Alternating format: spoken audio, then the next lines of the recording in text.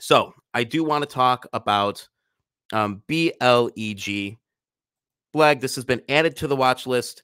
A market cap of 5.8 million, authorized share count of 1.5 billion, an outstanding share count of 1.3 billion, and uh, most of them are restricted uh, at almost uh, almost a billion, and then we have the unrestricted at 400 million. So the share structure is not out of control. It's looking good, and you know I, I like what they're doing. They recently committed. Uh, they got a one million dollar line of credit, and they affirmed that no, there's going to be no reverse split.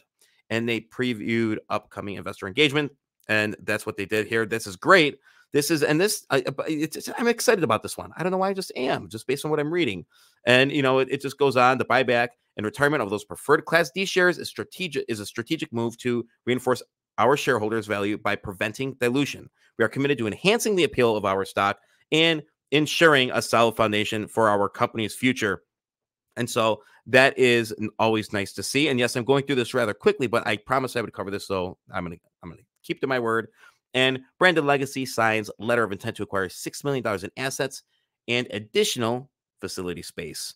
And it, goes on to talk about elements of this acquisition include a large scale CO2 based extraction unit, a multifaceted re- refinement lab, a C1D1 certified synthesis unit, a two fully automated and two fully automated gummy manufacturing units. Additionally, the facility is fully inspected, permitted, and ready for operation. And, you know, last but not least, Dave Oswald, I had a great pre call with him yesterday. It was great uh, talking to him on the phone. We had a good half hour conversation. I really like his energy. He's going to be joining me on the BFC, um, and we're shooting for December 13th.